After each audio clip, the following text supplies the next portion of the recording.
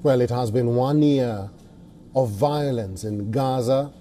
Let's talk about the situation now on ground. Mohammed Najib is a journalist and security analyst. He is now joining us from Ramallah. Mr. Najib, thank you very much for making time for us and welcome to the broadcast. People around the world commemorated one year since Israel started bombarding Gaza. Some of them prayed, some of them protested. I don't know what happened in Ramallah or in West Bank to commemorate this one year.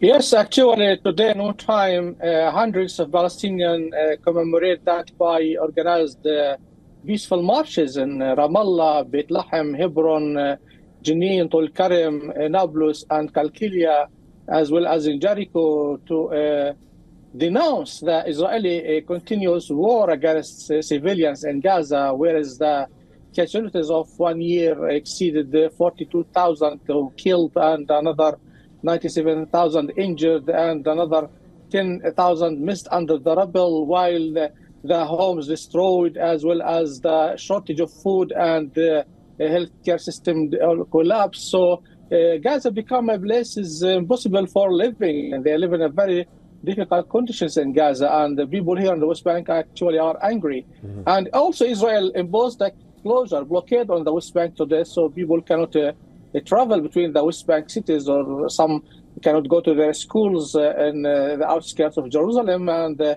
the IDF continues its military operation in the West Bank. And until today, in on time, Hamas fired five rockets toward Tel Aviv to show that it still uh, have uh, its uh, military arsenal after a year and uh, challenge to Israel. So the situation are difficult on the ground and people are hoping that a ceasefire could take a place and end this uh, sufferance of uh, more than 2 million Palestinians in the Gaza Strip.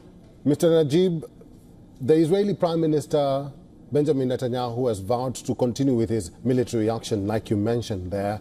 So, who is going to speak for Gazans? Who's going to speak for the Palestinians now that uh, they are actually urging over and over for a ceasefire?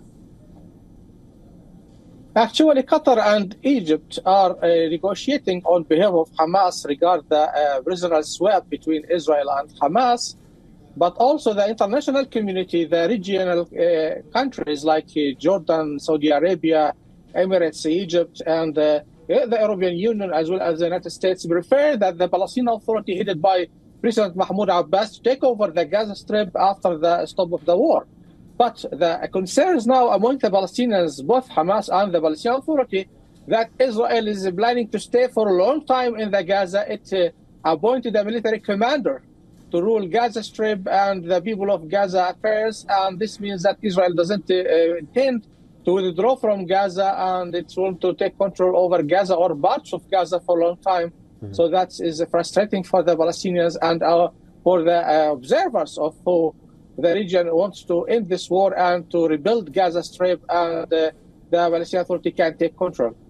All right, we'll have to leave it there. Thank you very much for talking to us. I've been talking to Mohammed Najib, who's a journalist and security analyst from Ramallah. Mr. Najib, as always, thank you. Thank you. For all the latest news, download the WION app and subscribe to our YouTube channel.